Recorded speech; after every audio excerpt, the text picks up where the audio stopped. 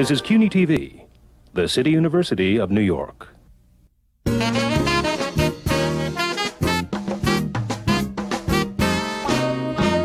Stephanie, por favor, de la escuela. Tómate para que te veas la escuela. Escuela,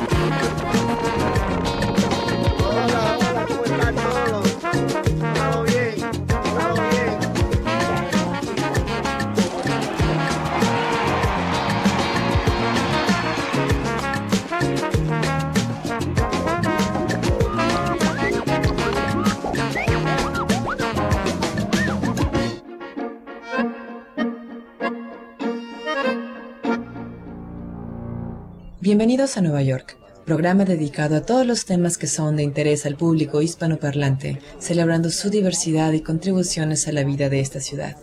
En este episodio, nuestra anfitriona Carmen Bollosa recibe en su casa a Néstor García Canclini, de nacimiento argentino pero radicado en México, y uno de los más grandes pensadores de nuestro tiempo. Después vamos a conocer cómo el consulado mexicano va a donde su comunidad lo necesita, en este caso a Freehold, Nueva Jersey. También, nuestro anfitrión Patricio Lersundi, en su segmento Visitando a, nos lleva con el escritor judeo-peruano Isaac Goldenberg, quien ha logrado dar una presencia a la literatura latinoamericana en los Estados Unidos.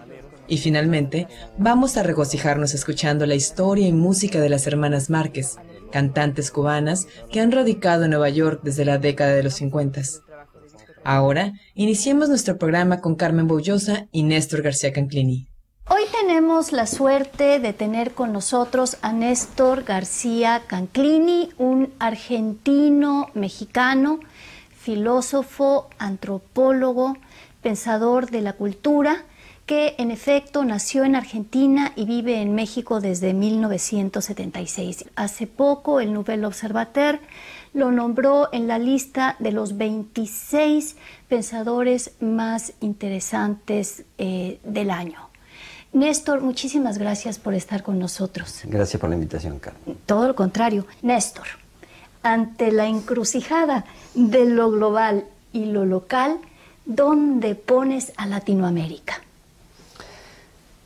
Yo diría que en un lugar parecido a Nueva York, porque Latinoamérica originalmente tuvo pueblos originarios, eh, indígenas, tuvo conquista española y portuguesa, una gran afluencia de eh, población afroamericana y luego enormes migraciones, como también ha habido aquí de asiáticos, de otros países de Europa del Este, eh, entre los propios países latinoamericanos. Más la tercera raíz, o la que llaman la tercera raíz, Sí. que es la influencia del mundo árabe que venía incluida en el Así es, paquete español. español, sí. Eso es.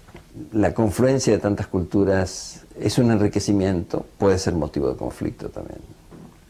¿Qué hace la nación latinoamericana ante esta avalancha de información, de arte, de material que se vuelve la ciudad comunitaria de los jóvenes, que no es generada y que no es producida en América Latina? Sí, sí, hay cambios enormes, porque hasta hace unos 30, 40 años las culturas eran sobre todo territoriales y podía gestionar el desarrollo cultural de una nación un Estado nacional. En la actualidad, la mayor parte de la información y del entretenimiento que recibimos viene por circuitos invisibles, masivos, transnacionalizados.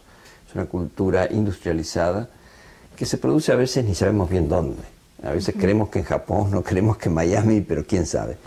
La recibimos eh, con muy poca posibilidad de las naciones de establecer barreras aduanas o cuotas de tiempo de pantalla o tiempo de música nacional en radio, por ejemplo, como existió en otras épocas.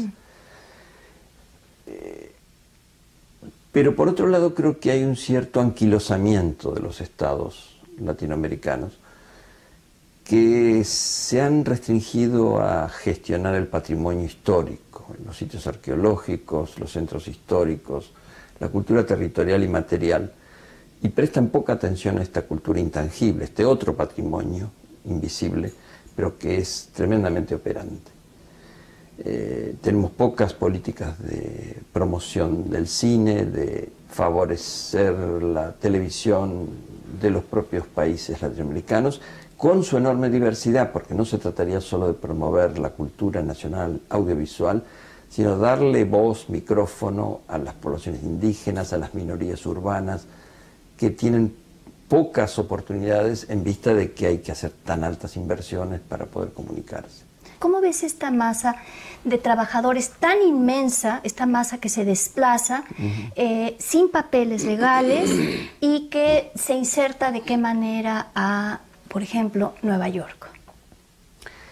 Sí, eh, es verdaderamente complicado y poco transparente.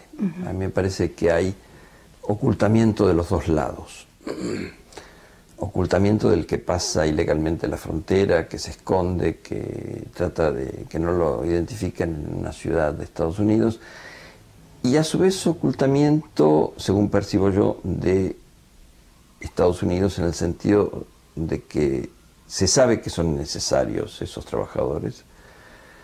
Eh, y que salen más baratos y son ilegales. Salen más baratos, pagan impuestos, porque cuando consumen pagan el IVA, pagan otros impuestos y que finalmente no tienen el reconocimiento, pero tampoco se los expulsa del todo porque se los necesita. Eh, a mí me parece que un problema serio en, los acuerdos de libre comercio y de intentos de integración entre Estados Unidos y países latinoamericanos ha sido no incluir en la agenda esta cuestión migratoria. En Europa es muy distinto. Eh, como parte de la integración se incorporó no solo el libre comercio de bienes, de mercancías, sino de la comunicación, el pasaje de las personas por las aduanas, la posibilidad de que la cultura también se coproduzca eh, continentalmente en forma europea. Y ahora, después de 10 años, 11 años del Tratado de Libre Comercio de América del Norte entre Estados Unidos, Canadá y México, vemos que fue bastante ineficaz eh, eh, prescindir de lo social y lo cultural, porque eh, lo que se dejó afuera por la puerta entró por la ventana. no se puede tapar el sol con un dedo. No, hubiera sido mucho más transparente, más claro, incluir la cuestión migratoria, establecer reglas. Siempre va a haber, porque en todas las fronteras importantes hay pasajes ilegales pero es muy distinto si hay condiciones más claras, en qué, casos se acepta, en qué casos no, protección para los que atraviesan las fronteras, y no esta situación en que hay tantos muertos, tantos perseguidos, tanta discriminación. Porque esto crea además encono, rabia de los dos lados. Y no es bueno para nadie, ni para las poblaciones, ni para los propios gobiernos que entran en relación. El propio libre comercio se beneficiaría si tuviéramos reglas más claras acerca de cómo intercambiar cultura entre Estados Unidos y América Latina, cómo hacer las comunicaciones más compartidas y, por supuesto, lo fundamental, cómo poder ser ciudadanos en distintos países. Sí. Bueno, Néstor, muchísimas gracias. Eh, ha sido un enorme placer oírte hablar. Mil gracias, Néstor. Felicidades para hacer este programa.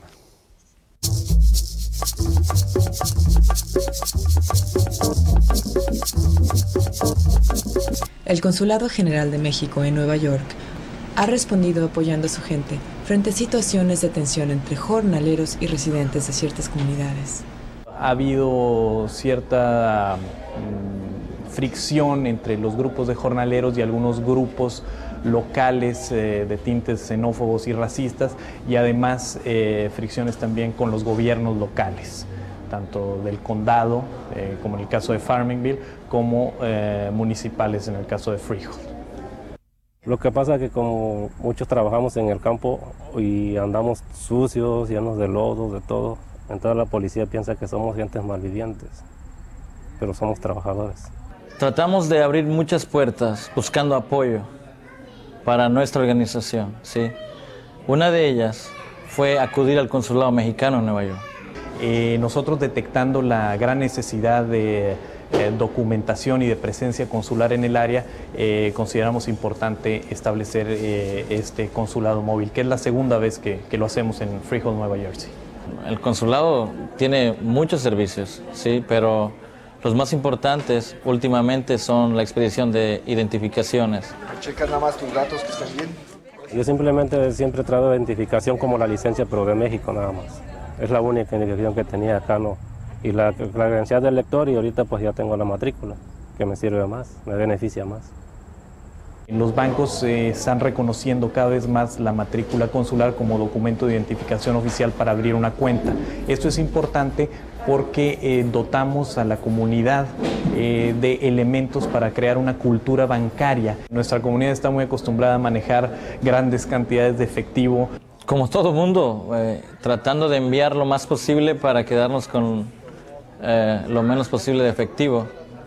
Eh, en, sus casas o traerlas, portarlas ellos mismos es un problema de seguridad. La delincuencia en Freehold aumentó efectivamente, pero dirigida contra los latinos, no de parte de los latinos. ¿no? Esto son palabras de un, un jefe de la policía de aquí. Eh, lo que nos interesa mucho es crear esta cultura bancaria para que vayan eh, comprendiendo cómo funciona en los bancos en este país.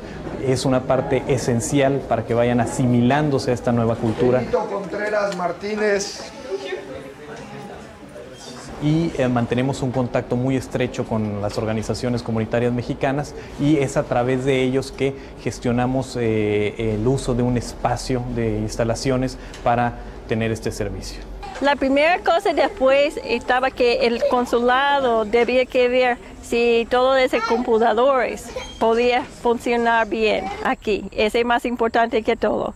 Uh, sin, ese, pues nada.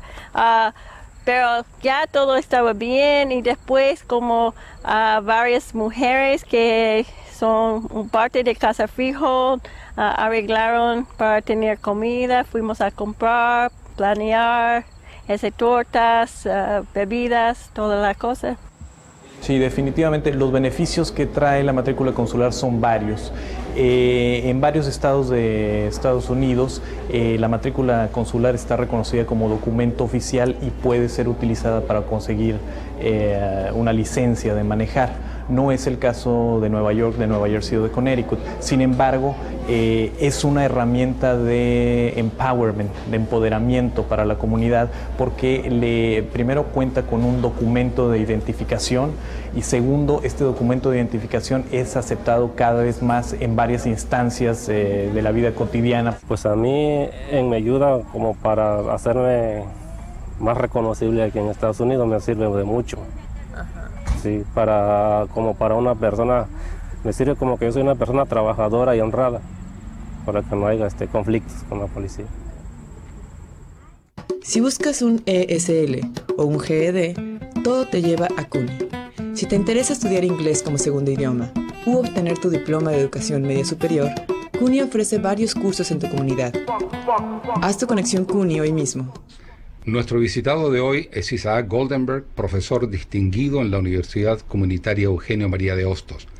Escritor peruano residente en Nueva York desde 1964, Isaac ha publicado tres novelas, once libros de poemas y dos obras de teatro. Su novela La vida a plazo de don Jacobo Lerner fue seleccionada recientemente como una de las 100 obras más importantes de la literatura judía mundial de los últimos 150 años. Isaac Goldenberg creó el Instituto de Escritores Latinoamericanos y la revista cultural Ostosiana, ambos proyectos que dirige en Hostos. De estos y otros temas hablaremos en este segmento de Visitando a. Isaac, bienvenido a Nueva York. Muchas gracias, Patricio. ¿De dónde sacas tú el tiempo para publicar tantos libros? Tengo entendido que hay uno en prensa. ¿Puedes hablar un poquito de eso? Claro, claro. Pero para contestar a tu primera pregunta, el tiempo en realidad lo saco de donde no lo tengo. Eh, en lo que respecta a mis libros, efectivamente, eh, ahora el Fondo Editorial del Congreso del Perú eh, me va a publicar una antología personal y es un libro muy especial porque es un collage ¿no? que yo he construido con mi obra y con la participación de algunos pintores judeo-peruanos. Mira qué interesante. ¿no? Para, o sea, el libro se publica como parte de la conmemoración de la presencia judía en el Perú. Entonces, a través de este libro quiero darle al público peruano no judío y al público peruano judío también una idea de- desde mi óptica personal de lo que puede ser, ¿no? significar ser judío en mi país. ¿Qué fue lo que te motivó a venir? Mira, yo nunca pensé venir a Estados Unidos, en realidad. ¿no? Mi meta siempre fue Europa, ¿no? sobre todo París, que era en el momento la ciudad ¿no? más importante literariamente hablando para los latinoamericanos en general. Y vine a Nueva York por razones puramente económicas. ¿no? Eh, ya tenía un hijo, eh, no encontraba trabajo en el Perú, quería estudiar al mismo tiempo, era imposible. Entonces eh, alguien me contó de que en Nueva York se podía hacer eso, ¿no? trabajar y estudiar al mismo tiempo y efectivamente tuve mucha suerte. ¿no? Al llegar encontré trabajo a la semana en la biblioteca pública de la Quinta Avenida y calle 42. Me matriculé en City College, ¿no? yo soy exalumno de CUNY ¿no? y así empezó mi carrera acá. Mira, mucho de tu literatura se centra sobre el, em, mundo judío, eh, y no tan solo desde el punto de vista creativo, sino también como editor. Eh, ¿Cómo nació esa idea y cómo lograste ese trabajo enorme? Mira, eh, fue un trabajo que me tomó cerca de siete años, ¿no? o sea, prácticamente bíblico, ¿no? Como a Jacob se le pidió que, se- que trabajara siete años para poder casarse con, ¿no? finalmente con la mujer con la cual quería casarse. Eh, la antología se llama El Gran Libro de América Judía, ¿no? y el Gran Libro alude no solamente al- a la dimensión del volumen, no es un volumen de 1250 páginas de tamaño 24 por 25, ¿no? Eh, que puede ser incluso un libro multiuso porque lo puedes usar hasta de almohada ¿no? o, para- o- o de banquito en la cocina, ¿no? si quieres alcanzar algo de un estante que esté un poco alto. Eh, reúne a escritores judeo latinoamericanos de todos los países de América Latina. ¿no? Me dediqué ¿no? a una investigación profusa y profunda y tuve la suerte de encontrar escritores en todos los países latinoamericanos. Uno de los em, lugares donde sé que has sido invitado de honor es la Feria del Libro de Guadalajara en México. Eh, ¿Cómo resultó esa invitación? Bueno, sucede que esta edición de la feria que se, que se va a hacer en noviembre, ¿no? fines de noviembre y comienzo de diciembre, el Perú es país invitado de honor a la feria. Entonces eh, la Cancillería peruana me, me invitó como parte de la delegación de escritores peruanos que van a asistir a la feria. Y me han pedido que participe como en seis o siete eventos. Eh, no solamente vamos a presentar también este libro que, se me está publicando en el Perú, sino que quiero aprovechar ¿no? para presentar dentro de ese marco el último número de nuestra revista, Hostos Review, que está dedicado precisamente a los escritores peruanos radicados en los Estados Unidos. Y creo que va a ser un buen marco como para que la obra de los escritores peruanos que están acá se dé a conocer más ampliamente. Siempre hemos conversado eh, acerca de la necesidad de publicar autores eh, latinoamericanos acá en este, en este país. ¿Salió de ahí la idea tuya de crear el Instituto de Escritores? Sí, sí, yo creo que básicamente salió de ahí la idea y a través de los años, en los 20 años ya de vida que tiene el instituto, eh, cada vez me convenzo más de que lo que los escritores latinoamericanos que radican en este país, y no solamente en Nueva York, eh, lo que más necesitan es precisamente no, un canal de publicación. ¿No? Eh, no les interesa tanto dar lecturas de poesía o asistir a congresos, ¿no? están deseosos de que su obra se publique y que no se quede guardada ¿no? en las gavetas de los escritorios. ¿no? Y por eso, eh, desde un comienzo creamos nuestra primera revista, que era Brújula. Aquí están prácticamente todos los números que llegamos a publicar. ¿no? Y luego, cuando Brújula feneció, entre comillas, ¿no? decidí crear ¿no? esta revista para seguir con eso. Y además, creamos un sello editorial. Estos son algunos de los títulos que hemos publicado hasta la fecha. Hemos publicado cerca de 40 ya.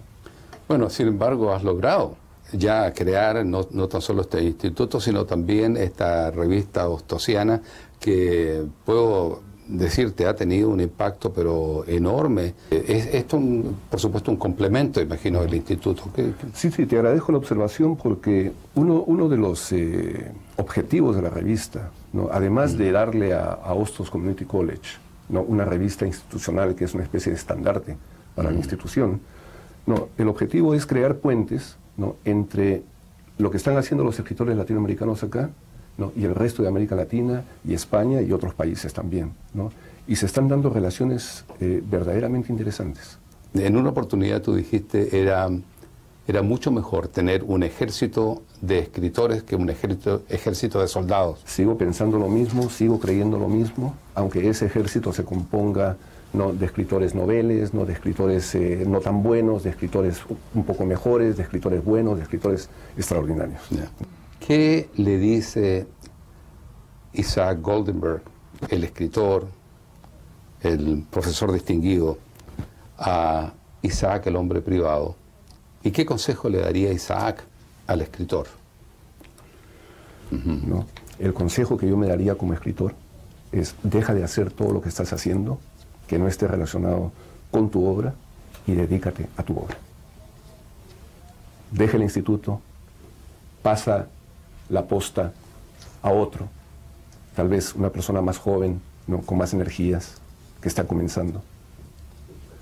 Vete a tu casa y dedícate a escribir. Y saque el hombre privado al escritor, eh, no le tengas miedo al fracaso, dedícate a tu obra también. No, no pienses que lo que estás haciendo no tiene importancia para nadie. ¿no? Por lo menos escribe para ti mismo. Claro, no, no, porque yo entiendo, por ejemplo, de que puede haber no, el, el, hombre público en el sentido de mi trabajo como profesor, no como editor a cargo del instituto, ¿no?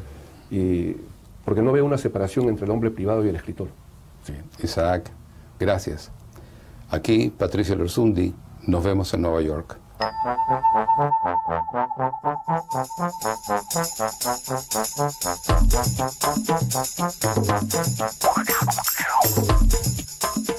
Bueno, ¿qué vamos a cantar, Tini? Esto es Felicidad de Bobby Collazo.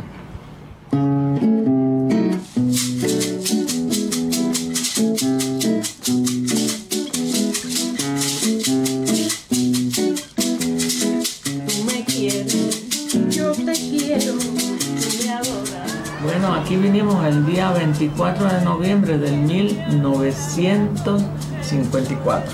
Oye, qué memoria tiene. Qué bárbara. Nosotros vinimos de Cuba.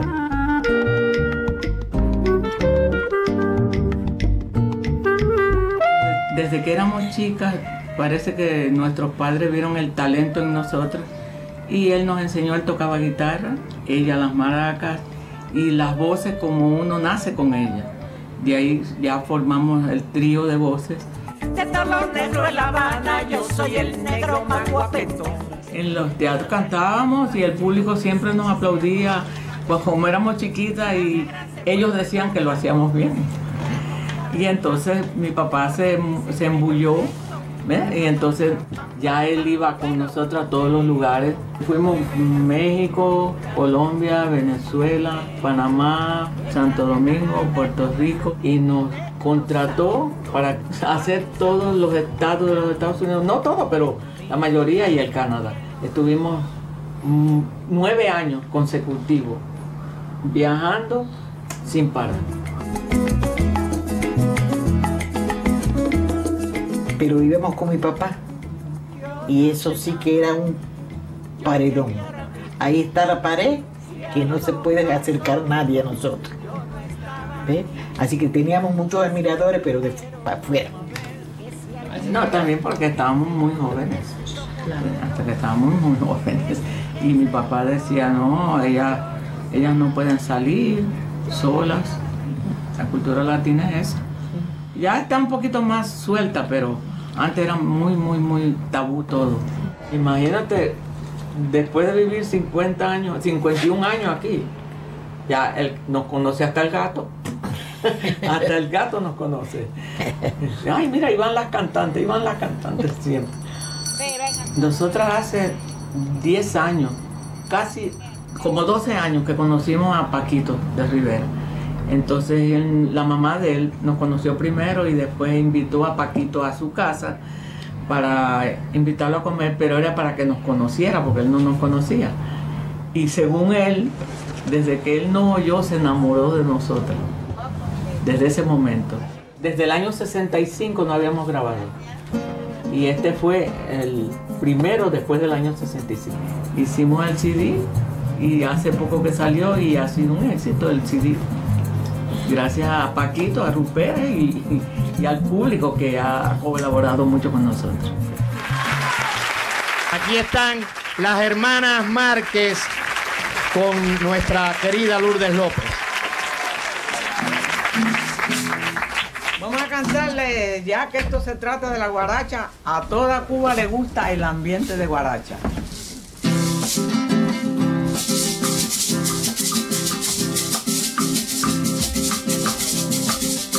A toda Cuba le gusta el ambiente de guaracha, apretar a las muchachas, lo mismo que el marañón. Nosotros hacemos eh, la música cubana, la música movida, que es guaracha, eh, mambo, cha-cha-cha. Es que me molesta alguna música. Por eso me pisa aquí y voy a arrancar de allá. Aquí. La guaracha es una, una música movida, bailable. Bailable y además tiene algunas estrofas picarescas. Picarescas. Picarescas. De un doble sentido, pero sin llegar a, a caer en lo vulgar.